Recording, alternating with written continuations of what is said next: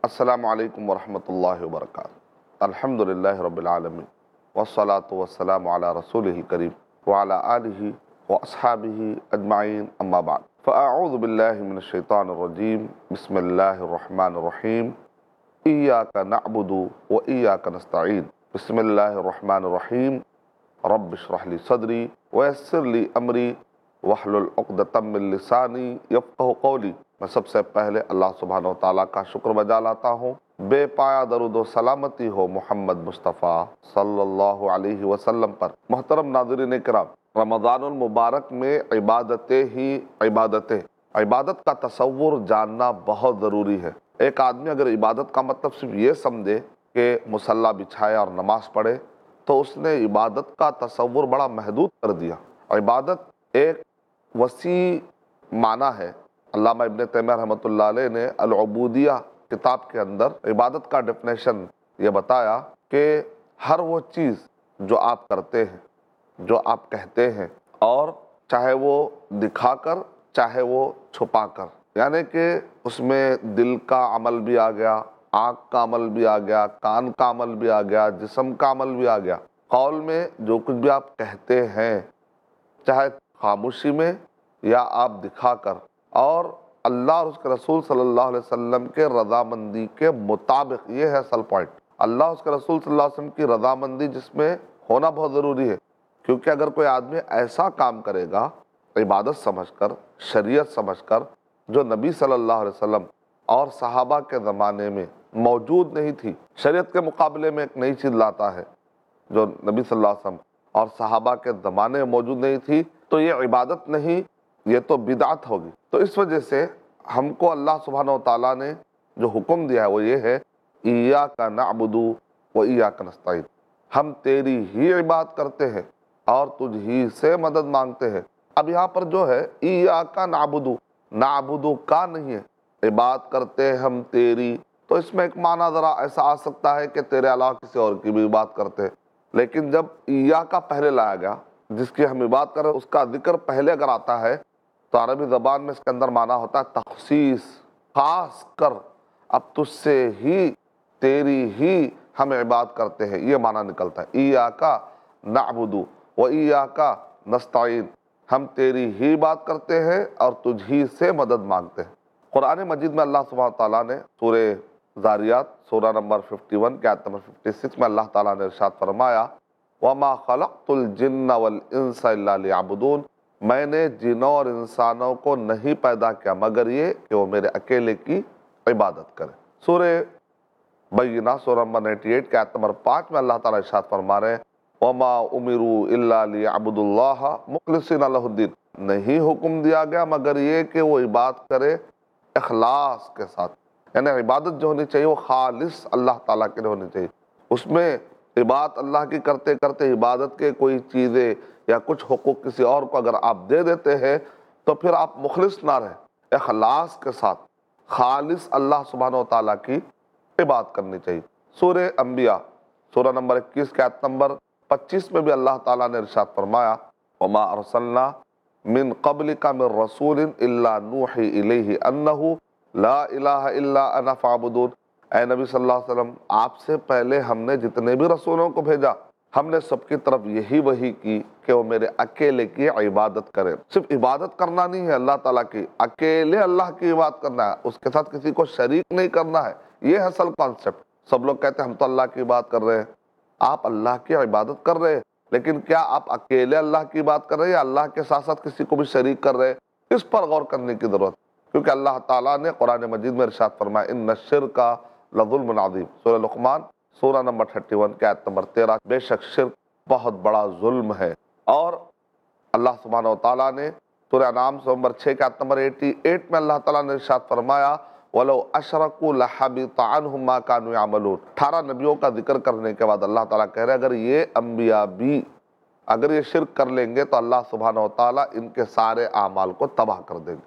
سورہ زمر، سورہ نمبر 39 کے آیت نمبر 65 میں اللہ تعالیٰ نے ارشاد فرمایا لئن اشرکتا لیحبطن عملوکا ولا تکونن من الخاسر اے نبی صلی اللہ علیہ وسلم، اگر آپ شرک کریں گے تو آپ کے عمل بھی تباہ ہو جائیں گے۔ مطلب یہ ہے کہ شرک نہیں ہونا چاہیے۔ جب ہم اللہ سبحانہ و تعالیٰ کی بات کر رہے ہیں تو اکیلے اللہ سبحانہ و تعالیٰ کی بات کرنی چاہیے۔ اسی لیے ابن عباس رضی اللہ تعالیٰ نے تفسیر کیا کی، کتاب التوحید، صحیح البخاری کے اندر کتاب التوحید ہے۔ اس کے اندر توحید کیا ہے؟ کس کو توحید کہتے ہیں؟ یعنی عبادت کیسے خالص کرنی چاہیے؟ اس کا پورا پروسیس اگر آپ جاننا چاہتے ہیں، تو صحیح بخاری کتاب التوحید ضرور پڑھی ابن عباس رضی اللہ تعالیٰ عنہ نے ارشاد فرمایا، وما خلقت الجن والانس الا ليعبدون میں نے جنوں اور انسانوں کو نہیں پیدا کیا، مگر یہ کہ وہ میرے اکیلے کی بات کرے اے لیوحدون یعنی کہ وہ میری عبادت میں توحید اختیار کرے یعنی کہ میرے علاوہ کسی اور کو شریک نہ کرے۔ تو اصل ٹاپک یہ نہیں ہے کہ اللہ کی آپ عبادت کر رہے ہیں کہ نہیں کر رہے تو ایک عام آدمی کہے گا کہ میں تو اللہ کی بات کر رہا ہوں، لیکن اس کو الٹ کیا جائے گا؟ کیا تم اکیلے اللہ کی بات کر رہے ہو یا عبادت کرتے ہو کسی کو شریک بھی کر رہے ہو؟ یہی تو اصل ٹاپک عبادت کا مفہوم بہت ہی کلیئر ہونا بہت ضروری ہے۔ اسلام میں عبادت میں اور رہبانیت میں بڑا فرق ہے۔ اسلام میں انسان کے جو جسمانی اور روحانی ضرورت کو ایک توازن کے ساتھ پورا رکھا گیا ہے۔ جیسا دنیا میں ایک طرف مادہ پرستی آپ دیکھتے ہیں، مادہ پرستی کی الغار چل رہی ہے کہ جو صرف میٹریلسٹک گین میٹریلسٹک گین مادہ پرستی، جسم جسم جسم، لیکن روحانی غذا وہ لیتے ہی نہیں۔ نہ نماز پڑھتے ہیں، نہ روزہ رکھتے ہیں، نہ اللہ کو مانتے ہیں، نہ عقیدہ ان کا صحیح، نہ عبادت صحیح۔ اور اخلاق بھی رکھتے ہیں تو ان کے اپنے ذات میں جو سمجھ میں آ گیا بس۔ لیکن اوپر والے نے ہم کو جو کہا ہے اور ہمارے روح کے لیے جو فٹ ہے، وہ اخلاق سے تو مالا مال ہوتے ہی نہیں ہے مطلب یہ نکلا کہ ایک طرف کچھ لوگ ہیں جو صرف مادیت کے پیچھے جسمانی ضرورت ہے، لیکن روح کو نظر انداز کرتے ہیں۔ کچھ لوگ ہیں جو رہبانیت کے نام پہ وہ رہبانیت ما کتبنا حالی سورہ حدید میں اللہ تعالیٰ ارشاد فرما رہے یہ رہبانیت کو انہوں نے اپنی طرف سے شروع کر لیا تھا۔ اللہ نے کبھی ان پر فرض نہیں قرار دیا۔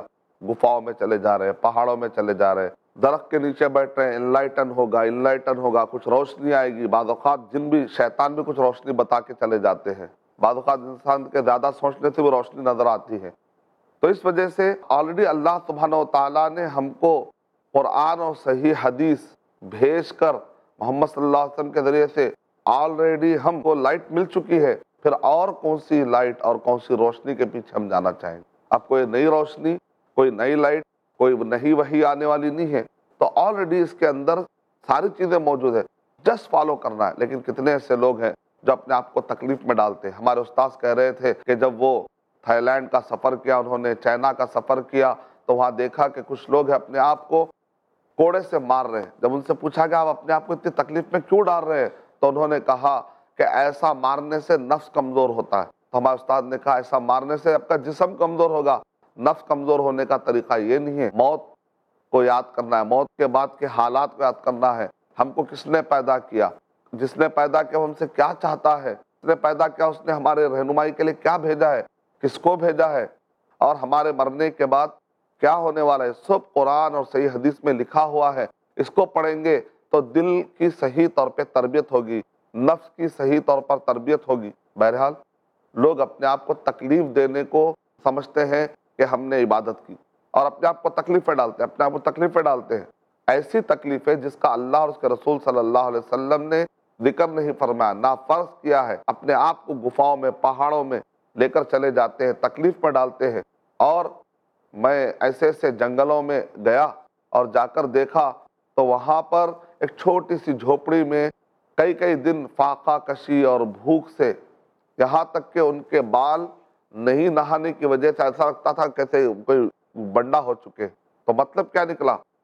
کہ لوگ اپنے آپ کو تکلیف ڈالنے کو بات سمجھتے اور سمجھتے کہ اس سے نجات ملتی ہے۔ تو میرے گزارش ہے کہ قرآن اور صحیح حدیث پڑھیں گے تو ہمیں عبادت کا بہت ہی سیدھا سادہ تصور مل جاتا ہے۔ یعنی سمپل یہ ہے کہ جو کچھ بھی آپ کر رہے ہیں یا کہہ رہے ہیں، چھپا کر یا دکھا کر، بس آپ کو یہ دماغ میں رکھنا ہے کہ میں اب جو کرنے والا ہوں، میں جو اب کہنے والا ہوں، میں جو اب سوچنے والا ہوں، میں جو اب سننے والا ہوں، میں جو اب میرے آنکھ کا کام، میرے کان کا کام، میرے زبان کا کام، میرے دل کا کام یا کچھ کہنا ہے دکھا کر یا آہستہ میں یہ دیکھ لیجیے کہ اللہ سبحانہ و تعالی محمد صلی اللہ علیہ وسلم نے جو طریقہ بتایا ہے، اس سے کچھ ٹکرا رہا ہے۔ اس کے بتائے طریقے کے مطابق کہ اللہ اس کے رسول صلی اللہ علیہ وسلم اس سے راضی ہے یا نہیں ہے۔ ایک مرتبہ ہمارے استاد نے کہا، یہ دیکھو کہ آپ کے عام زندگی میں عبادت کیسے ہوتی ہے؟ اور عبادت کے اندر ایک ہوتا آدمی کے عام کام کرتا ہے، لیکن اس کے اندر اگر نیت کر لیتا ہے تو ثواب بھی مل جاتا ہے۔ تو ہمارے استاد نے ایک مرتبہ کہا، آپ لوگ سب لوگ کتاب اٹھائیے۔ تو ہم لوگوں نے کتاب اٹھائی۔ تو ہمارے استاد نے کہا، جانتے ہو، تمہارا یہ کتاب اٹھانا یا تو ریاکاری میں آ سکتا ہے، یا تو عبادت بن سکتا ہے۔ یا تو ایک جنرل کام جس کی کوئی نیت نہیں ہے، ایک مباح کام۔ نہ، ثواب نہ عقاب تو ہم نے کہا کہ آپ اس کو سمجھائیے۔ تو ہمارے استاد نے ہم کو سمجھایا دیکھیں اگر یہ کتاب آپ لوگ مجھے دکھاوے کے لیے اٹھاتے ہیں، مجھے صرف خوش کرنے کے لیے، تو ظاہر بات ہے آپ نے ریاکاری کی۔ لیکن اگر آپ کتاب اس لیے اٹھاتے ہیں کیونکہ اللہ تعالیٰ نے استاذ کا احترام کرنے کی، جس سے آپ سیکھتے ہیں، اس کا احترام کرنا ہے، آپ کے دماغ میں اگر یہ سب باتیں بھی آتی ہے تو آپ ثواب کما رہے ہیں۔ لیکن آپ چونکہ اٹھانا ہے، بس اٹھا دیا آپ نے۔ تو آپ نے ایک مباح کام کیا، نہ گناہ ہے، نہ ثواب ہے۔ تو نیت کا کتنا اثر پڑتا ہے؟ انما الاعمال بالنیات یعنی کہ عبادت صحیح ہونے کے لیے دو شرطیں کم سے کم ہونا ضروری ہے۔ ایک یہ ہے کہ اخلاص، وہ خالص عبادت کس کے لیے ہو؟ اللہ۔ اور محمد صلی اللہ علیہ وسلم کے بتلائے ہوئے طریقے کے مطابق ہونا چاہیے۔ اگر آپ کی نیت بڑی اچھی ہے، مان لیجیے کہ میری نیت اچھی ہے کہہ کر میں روزانہ اپنے گھر کی کرسی کو مان لیجیے میں سجدہ کر رہا ہوں۔ اور یہ کہ بھئی میری نیت اچھی ہے، ہم کہیں گے کہ بھئی آپ کی نیت اچھی ہے، اللہ کو خوش کرنا آپ چاہ رہے ہیں، لیکن روزانہ کرسی کی طرف سجدہ کرنا، کیا آپ کے لیے اس بات کی اجازت ہے؟ کیا قرآن اور حدیث میں اس کی اجازت دی گئی؟ کہ اللہ اس کا رسول صلی اللہ علیہ وسلم اس بات سے راضی ہے؟ آپ کو رضامندی معلوم کرنے کے لیے قرآن حدیث آپ نے کبھی پڑھا ہے؟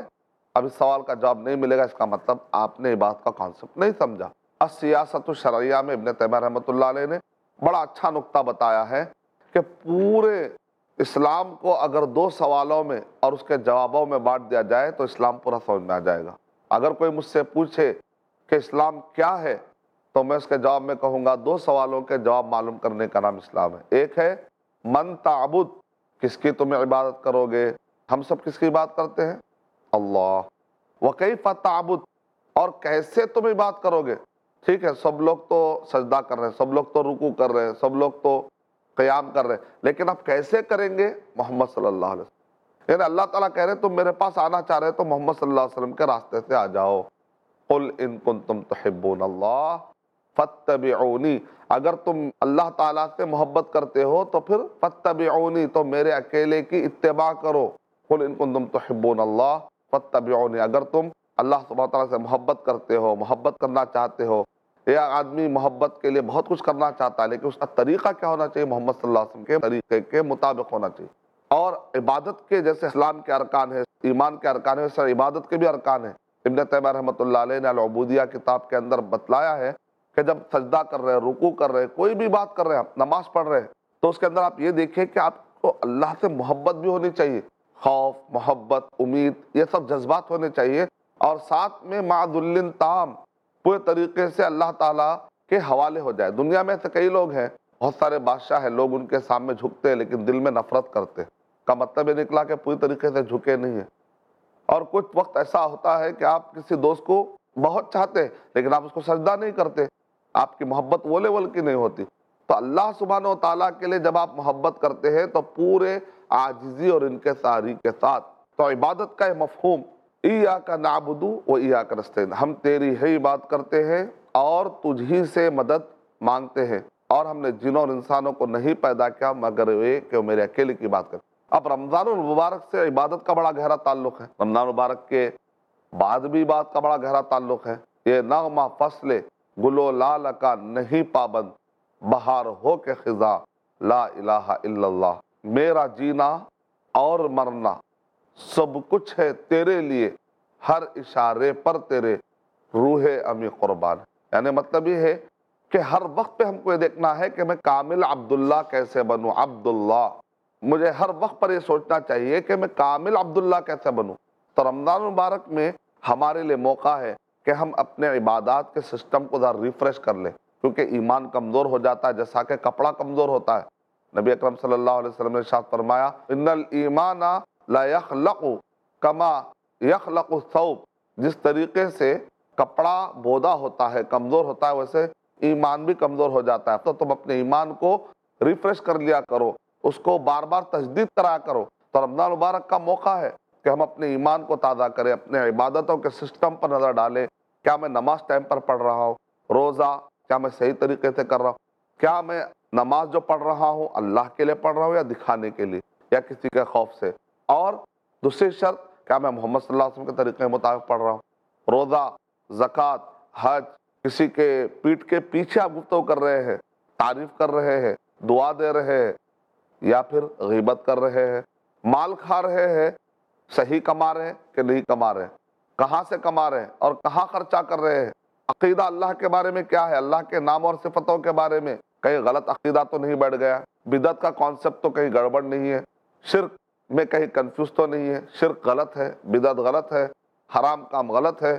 توحید سے مالا مال ہونا ضروری ہے، سنت سے مالا مال ہونا ضروری ہے، حلال سے مالا مال ہونا ضروری ہے۔ فضول کاموں سے اپنے آپ کو بچانا بہت ضروری ہے۔ زندگی کے ہر شعبے میں عبادت کا وسیع مفہوم ہے، جو بھی آپ کر رہے ہیں۔ یہاں تک کہ نبی اکرم صلی اللہ علیہ وسلم نے ارشاد فرمایا، اگر کوئی اپنے بیوی کے منہ میں لقمہ ڈالتا ہے شوہر، تو یہ بھی عبادت ہوگی، اس کو بھی ثواب ملے گا۔ یہاں تک کہ اگر کوئی اپنے ازدواج تعلقات سے اپنی خواہش پوری کرتا ہے، اس پر بھی اس کو ثواب ملے گا۔ صحابہ اکرام نے پوچھا، ایک آدمی اپنی خواہش پوری کر رہا ہے، اس پر ثواب کیسے مل جائے گا؟ تو نبی اکرم صلی اللہ علیہ وسلم نے ارشاد فرمایا، اگر یہ خواہش وہ غلط طریقے سے پوری کرتا تو کیا اس کو گناہ نہیں ملتا؟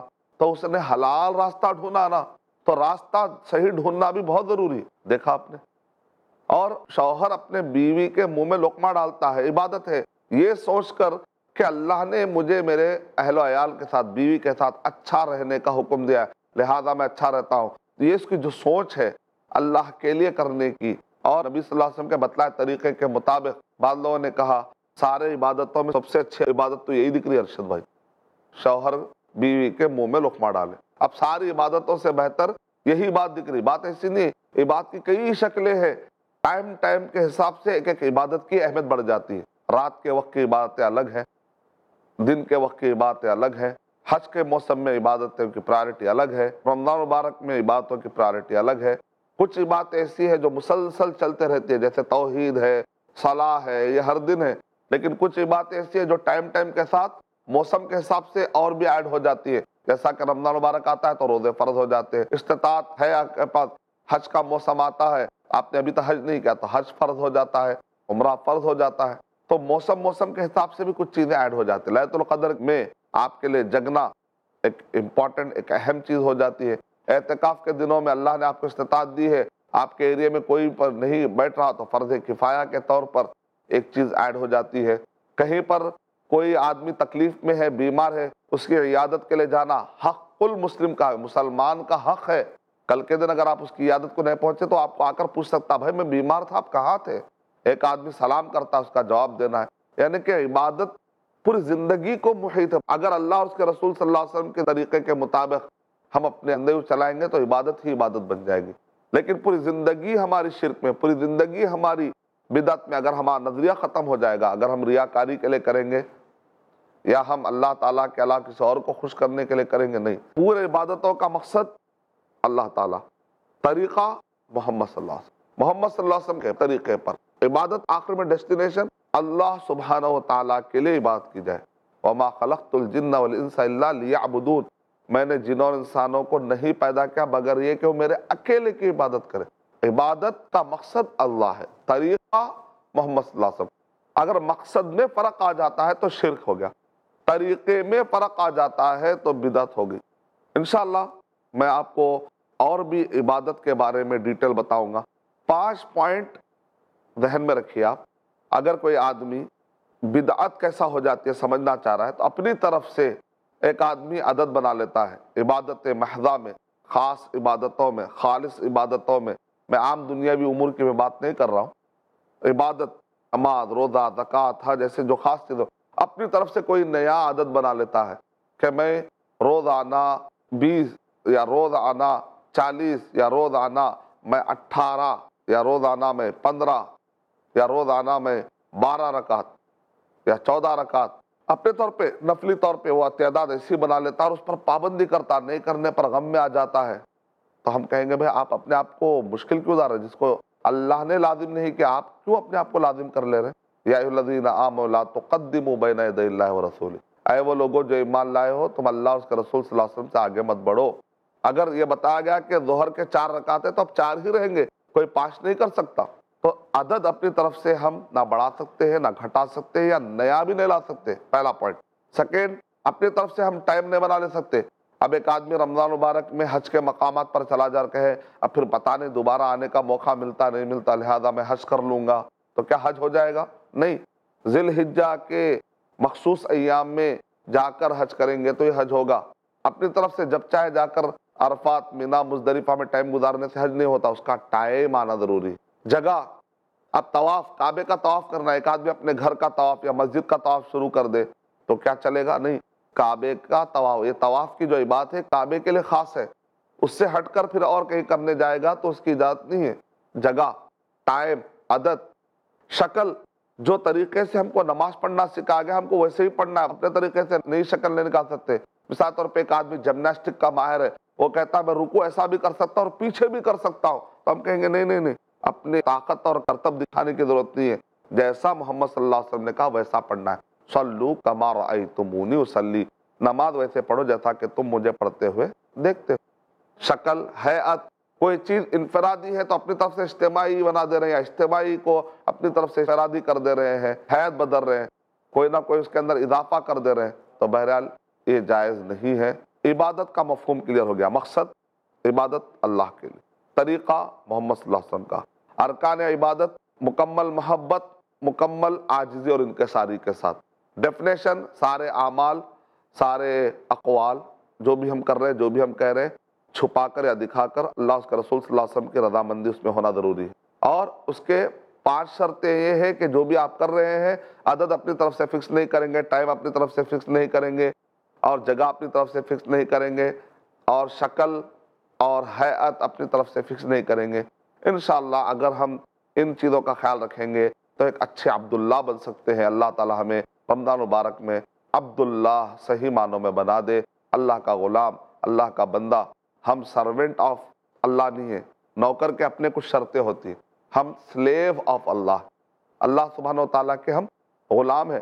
ہم اللہ سبحانہ و تعالیٰ کے سرونٹ نہیں ہیں۔ کیونکہ خادم کے اپنے بھی کچھ رولز ہوتے ہیں۔ ہم بلا شرط، بغیر کسی شرط کے سمعنا و اطانا والی کیفیت کے ساتھ عبادت کے لیے حاضر ہو جائیں۔